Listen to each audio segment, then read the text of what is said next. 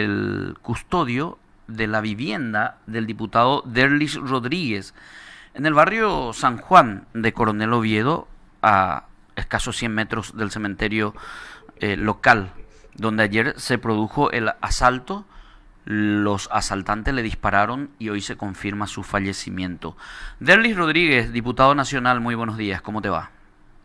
Buen día, Cristian, un gusto poder compartir contigo, con la audiencia. Creo que buen día es la fuerza de la costumbre nomás, Derlis, porque hoy creo que todos estamos muy consternados por el fallecimiento de Marcos Bazán, por una parte, pero por otra parte, eh, por lo que estamos expuestos, a lo que estamos expuestos los ciudadanos en Coronel Oviedo. Hoy le tocó a Marcos, le pudo haber tocado a Burgos, o le pudo haber tocado, no sé, a, a alguien de tu familia o a otra gente o a cualquiera de nosotros este retroceso en la seguridad en Coronel Oviedo muy preocupante, diputado. Justamente, Cristian, eh, así como mencionas, un hecho lamentable nos sucedió con nuestro querido amigo Marco Mazán, que nos golpea bastante como familia, principalmente por, por la cercanía que teníamos con él del, del día a día, por la situación médica en la que estoy hoy. Generalmente necesito que la gente eh, eh, esté conmigo 24 horas, ¿verdad? Entonces muchas veces fuera del horario que le correspondía, él con, mucho gusto se quedaba, compartía con nosotros, viajaba nuevamente conmigo.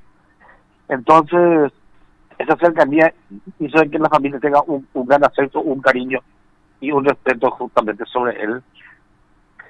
Por eso es que te decía que nos golpea bastante y por lo que representa para la seguridad de nuestra ciudad, ni hablemos, y del país, es, y no sé, vengo denunciando desde mi curul hace prácticamente ocho meses lo mismo, y hoy me tiene que tocar a mí frente a mi casa prácticamente, que le quiten la vida a un custodio, a, una persona muy allegada a nuestra, quienes puedan, quienes sacar la vida de esta manera, en un hecho violento, en un barrio de nuestra ciudad, que dicen, eh, o sea, es eh, eh, eh, como decían, esto es muy profundo, Cristian, esto es peligroso, que muchas veces, cuando el otro día yo salí a denunciar que el secuestro, el, el secuestro express que estaban haciendo, que lo peligroso era de que los montos ya eran muy ínfimos, que,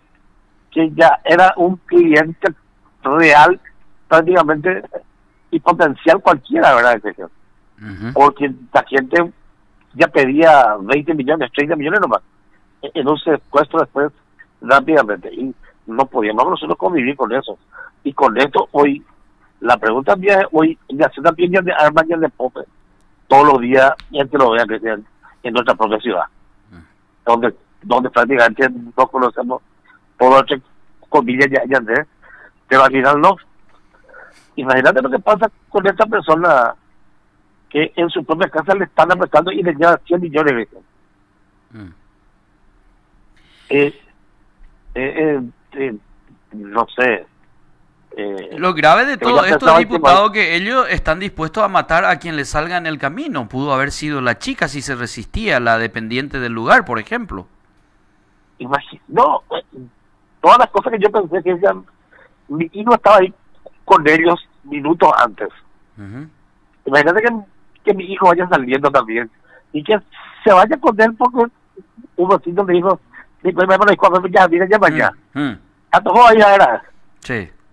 Imagínate que no, que, eh, no sé, hermano, yo, para mí, esto que sucede hoy, este hecho violento, eh, tiene que servirnos a nosotros como obedecer principalmente a que podamos exigir y a nosotros como autoridad, digo por mí, a exigir de que esto no quede impune primero.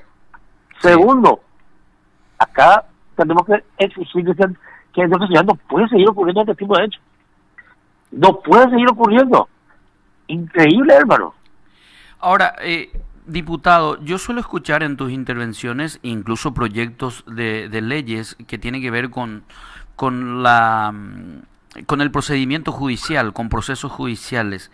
Y aquí creo que hay luego una ley que no permite que los vehículos circulen sin chapa o matrícula, pero resulta que en Coronel Oviedo eh, eso es eh, un, el pan diario, es decir, nosotros vemos vehículos sin chapa circulando eh, frecuentemente y no sabemos quiénes son. Y, ayer el vehículo en el que se dieron a la fuga era vehículo sin chapa. Es decir, desde el vamos estamos ya lo en un déficit grave en materia de seguridad, diputado. Pero por eso digo, Cristian, que son demasiados los factores que suman para que la delincuencia pueda florecer. Pero principalmente existen hoy que los organismos de seguridad, los que están encargados, no están en los lugares donde tienen que estar, no, no tienen quizás los recursos necesarios tampoco para hacer eso. Pero si no tienen los recursos, tienen que maximizar y lo que tengan tienen que utilizar para que podamos estar seguros por lo menos en ciertos lugares, ¿verdad? Porque seguir con esto eh, realmente no se puede, lo que nosotros estamos planteando justamente con, con las modificaciones de los proyectos de leyes que hoy estamos haciendo, nosotros entendemos que la prisión preventiva, por ejemplo, no es la causante de que de que haya mayor o menor delincuencia. La reincidencia sí. Entonces, ¿qué hacemos para controlar la reincidencia? Que tenemos que poner los famosos todin, la famosa todinera que ahora se necesitó y que se va a ir se va a ir implementando poco a poco. Entonces son situaciones que van a ir dando soluciones a corto plazo, a mediano yo creo que mucho más, pero a largo plazo vamos a ver el resultado de, de, la implementación de estos de estos dispositivos, por ejemplo, de Y otra cosa, lo que tenemos que entender eh, el tema del transporte con los vehículos, tiene razón. El tema de, de la chapa no se puede circular sin, sin la chapa. Tiene que tener una identificación. Eh, la ley eh, vial justamente y, establece claramente eso. Tenemos que eh, empezar por ahí, Cristian. Y segundo, la presencia de los agentes policiales en ruta. Ya una discusión que tenemos nosotros con la ministra de, eh, obras. Obras, por ejemplo, hablamos por lo que representa la patrulla caminera, pero tiene la Policía Nacional el mismo criterio, tiene también que la patrulla caminera. Ellos mm. creen que las barreras, ellos creen que, que la presencia policial en cualquier lado ya eh, no, ya no funciona. Pero ya tienen gente maestra la 2년된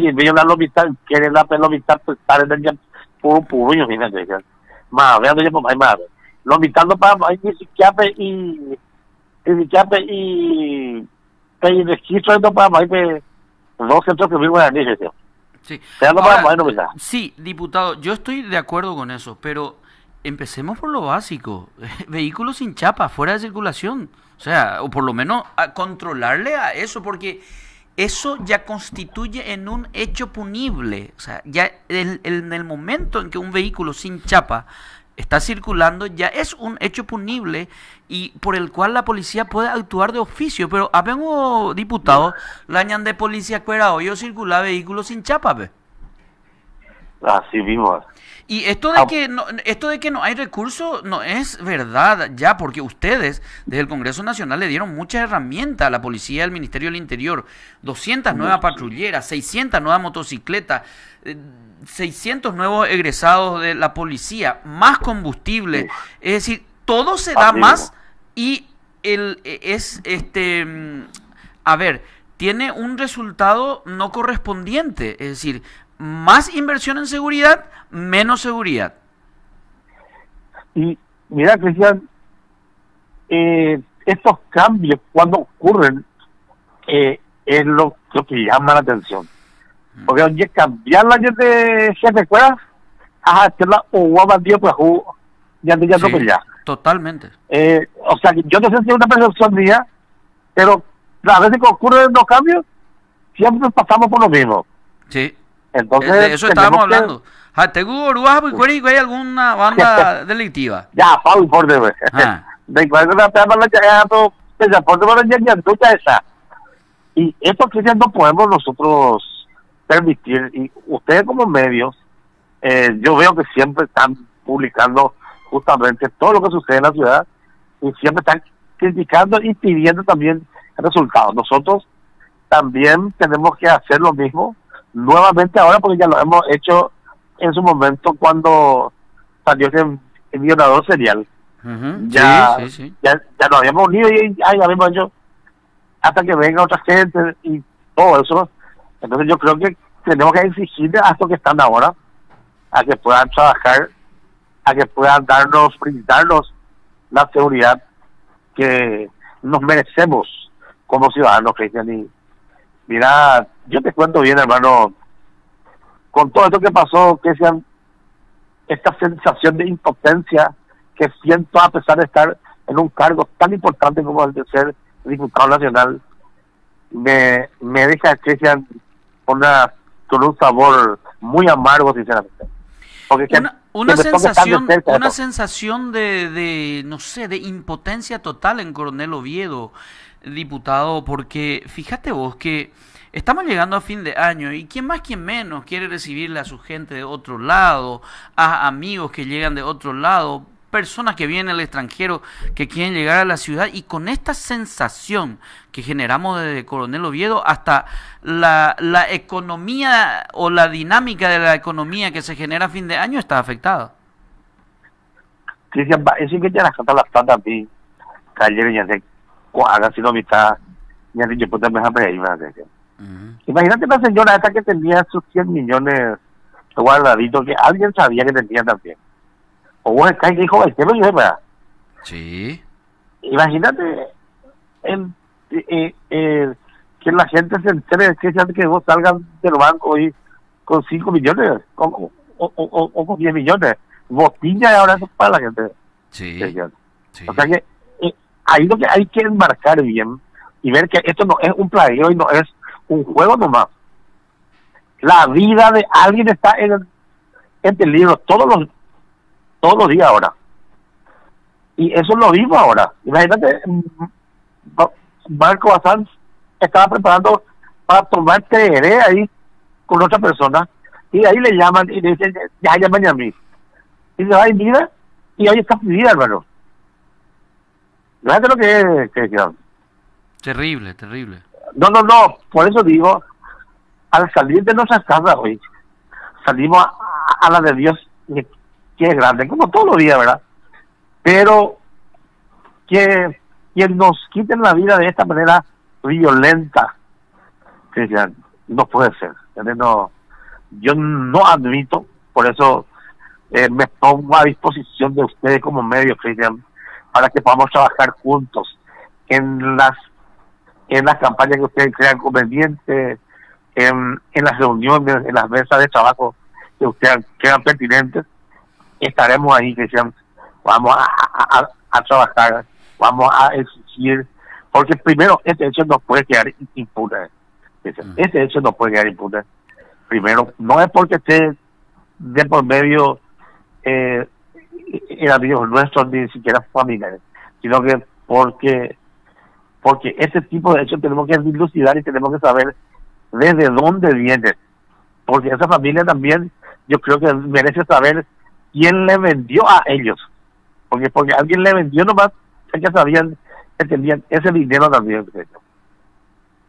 Diputado, ¿cómo estás? Néstor Castillo te saluda. Ahora una cuestión, una cuestión más administrativa antes que otra cosa. El suboficial eh, Marcos Bazán estaba asignado a tu, a tu custodia, a tu, a tu acompañamiento, cobertura eh, de, de manera administrativa con todos los formalismos debidos, estimo diputado. Sí, así mismo, él está conmigo hace más de un año desde que yo asumí.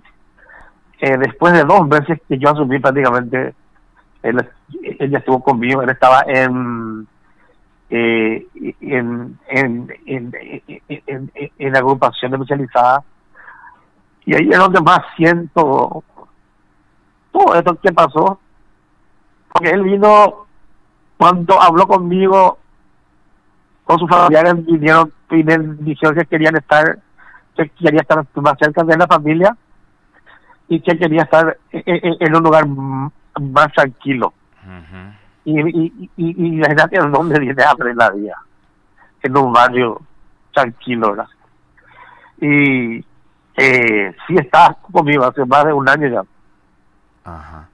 E, e, es lo mismo que, que, mucha gente va comentando, diputado, y eso muy al margen, evidentemente. La labor policial desde ya requiere un nivel de compromiso que, que, no todos los ciudadanos estamos preparados para, para hacerlo. Más temprano decíamos aquí, y, apuntaba algo con Cristian, eh, el, juramento policial establece de entregar la vida por la integridad y el patrimonio y entregar la, la vida si necesario fuere.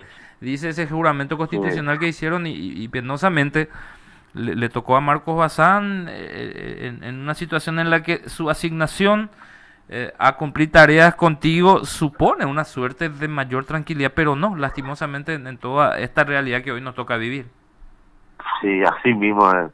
Y eh, por eso decía, él tenía un horario establecido para poder estar, pero sin embargo, eh, prácticamente estaba por mi casa todo un día, ¿verdad? Porque por la situación mía, como ya explicaba, de salud, entonces son dos tres personas más que pueden manejar bien mi silla de ruedas, porque es pesado, tiene que desarmar, armar. Entonces, están ahí siempre ellos, ¿verdad? Entonces, eh, mucho más allá del horario, él prácticamente nunca dijo, no sé cuántas horas te ayudará o nunca puso mal la cara, siempre contento. Y así es, mi hermano.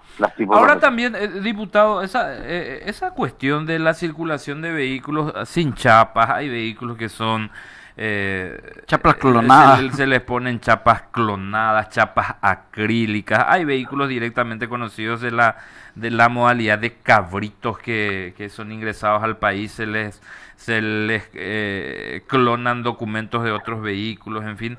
No es una exclusividad muchas veces de del personal policial que, que, aparentemente anda en, en ese tipo de, de, de, irregularidades. Se les atribuye a gente civil, se le atribuye a personas, a políticos.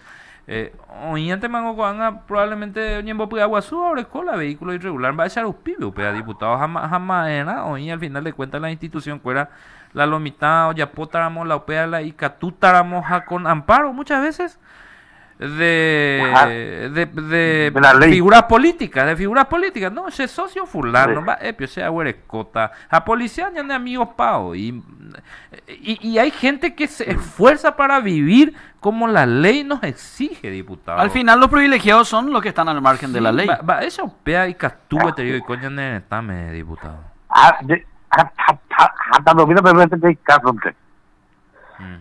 que el otro día desde la institución misma lo, como trabajamos mal. La Sendavico, tuvimos reunión con ellos hace 10 días, en una comisión de control de presupuesto, en donde les preguntaba yo justamente qué hacían de los vehículos que se incautan y, y de los que se decomisan después.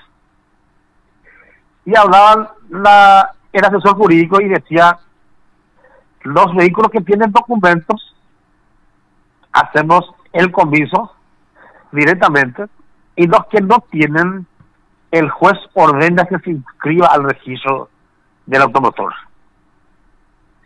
¿Y por qué le hice esa pregunta? Porque es la tercera vez que un vehículo vendido por la Sedavico se está sacando de Brasil y me parecía raro, ¿por qué no se sacaban allá? Entonces yo decía, ¿será que son vehículos clonados que no se dan cuenta acá y venden así? Decía yo. Entonces, no, son vehículos que un juez ordena que se inscriba con el mismo chasis. Imagínate, por sobre nuestra ley que estamos hablando nosotros, contra nuestra ley del automotor y contra los acuerdos y los convenios internacionales que tenemos suscritos nosotros con, con, con Argentina, con Brasil, con Uruguay principalmente, ¿verdad? Y, y, y, y si la institución misma encargada supuestamente hoy de administrar los bienes comisados, y ellos están por sobre la ley haciendo lo que se les, se les place y están documentando algo irregular. Nuestros ciudadanos también lo que están haciendo hoy es lo mismo porque muchas veces la gente que hace con su vehículo de manera que tiene de manera irregular. Lo que hace es hace las documentaciones muchos de ellos luego también son engañados. Entonces denuncian por estafa todo eso y tienen un un, un documento vamos a decir que les permite eh, entre comillas eh, poseer por por la vía judicial verdad Ahora, entonces cae en casi lo mismo, digo. Mm. Ahora, diputado, eh, esto que mencionábamos hace rato de que viene una nueva cúpula policial y las modalidades delincuenciales varían de acuerdo a eso. Eh, eh, yo creo que autoridades departamentales y de la ciudad como el intendente, el gobernador, los diputados y senadores deberían un poco auditar también los resultados de los trabajos de la policía. Daika, tu digo yeruka de cualquier paquete ente abeja ñande oye yuka la ñane gente cuera veina. Y, y sinceramente eh, tenés razón, Cristiano. O sea que muchas veces a, nosotros después nos vayan nos informan quiénes son los que vienen, que es lo que corresponde porque es una institución totalmente independiente, ¿verdad? Pero como bien decías, una mesa de diálogo una mesa de trabajo en donde nos reunamos por lo menos una vez por mes o una vez cada dos meses o trimestral y donde se, se entregue un informe. Yo creo que es una salida bastante interesante para que nosotros también podamos conocer la realidad primero y segundo que podamos exigir justamente que se cumpla. Diputado, 100 millones de guaraníes se llevó de esta familia. Es lo que escuché, Cristian. Yo que soy muy honesto, ayer estuve en sesión hasta la tardecita, hasta la tarde ya y mm. salí ahí, estoy con un tema médico, hasta hoy a las 15 horas y después voy a trasladarme a ya eh, lo que mm, los datos que manejo son los datos que me están pasando desde allá, ¿verdad? Pero, eh, pero que está, ejemplo. No. Para eh, gente trabajadora, porque porque mis vecinos son, son gente muy trabajadora, que gente que desde temprano están, eh, como todo, ¿verdad? Pero te digo, explíquenla a cosas por ahí. Diputado, y, y, este vecino que alertó también a la gente, muy valiente, ¿lo conoces al señor Burgos? Sí, de, la esquina ahí, justamente, dice que le hizo la seña correspondiente porque se dio cuenta lo que estaba sucediendo. Sí. Y eh, como, como te digo, nadie dimensionó lo que podía ocurrir nada más. Porque, porque ¿quién va a imaginar que van a ir a hacer una asalto de esta magnitud en un barrio así y en una tienda que no, que no es muy grande en ese lugar, ¿verdad? Ellos sí tienen venta de vehículos por otros lugares también, pero en su vivienda tiene una pequeña tienda nada más. O sea, que no es muy pequeña, pero es, es una tienda que no vas a creer que esa magnitud de dinero puedan manejar en ese lugar, ¿verdad? Diputado, y, y la última pregunta. Eh, un chaleco antibala podría haber sido salvador en este caso. ¿Estos agentes no cuentan con esas herramientas? Y tú sabes que, que generalmente suele tener, solamente que eh, por el horario, por el horario y porque estaba, llegó recién, según me contaron, llegó recién, traía su traía su, su remedio para tener, preparó cuando se iban a sentar para tomar, eh, eh, ahí, ahí le, le llaman, y como que cuando yo no estoy, ellos que quedan dentro de la casa normal, no. seguramente por eso no se puso, pero generalmente tienen ese chaleco. Cuando salimos, al menos sí. Eh, diputado, gracias por tu tiempo, por esto, por estas consideraciones. Creo que es importante hacer una reflexión sobre esto y más todavía cuando está en juego la seguridad y la vida de la gente. Eh, por eso creímos oportuno hablar contigo en esta ocasión de este tema, aunque hay otros temas pendientes para hablar, pero eh, creo que deberíamos estar muy alertas todos y cuidarnos todos. Eh, yo siempre digo que en Paraguay hay ya una duda razonable de los ciudadanos. ¿Qué hacemos cuando vemos a la policía? ¿Corremos a pedirle auxilio o corremos de ellos? Porque las noticias revelan que muchos agentes que se encuentran en las filas policiales en su horario libre o en su día de franco son los asaltantes mismos. Así es. Cristian. Por eso digo, eh, reflexionar como para repetir lo que y decía también, que, que esa reflexión tiene que ser básicamente eh, sobre lo que podemos hacer hoy ya nomás. Y bien decías sobre el control de los vehículos sin chapa, por ejemplo. Eso es básico. Primero, algo básico. Empecemos por ahí y hagamos un plan realmente de contingencia ante tanta violencia, eh, ante tanta criminalidad. ¿Y cómo hacemos eso para poder recuperar la confianza primero en los agentes del orden, en quienes los tienen que proteger? Primero eso. ¿Cómo recuperamos la confianza con ellos? Entonces, eh, empezar a trabajar juntos con mesa de diálogo. Yo creo que esa es la salida.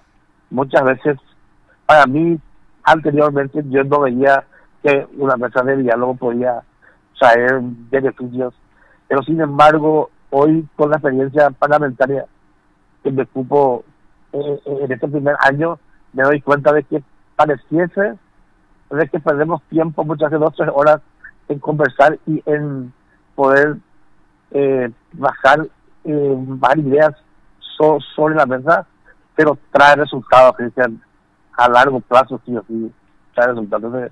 Yo creo que por ahí va la cuestión y nosotros tenemos que tomar esa esa esa iniciativa, nosotros los políticos, los parlamentarios, principalmente en el Caguazú voy a conversar yo con todos los colegas así para poder armar el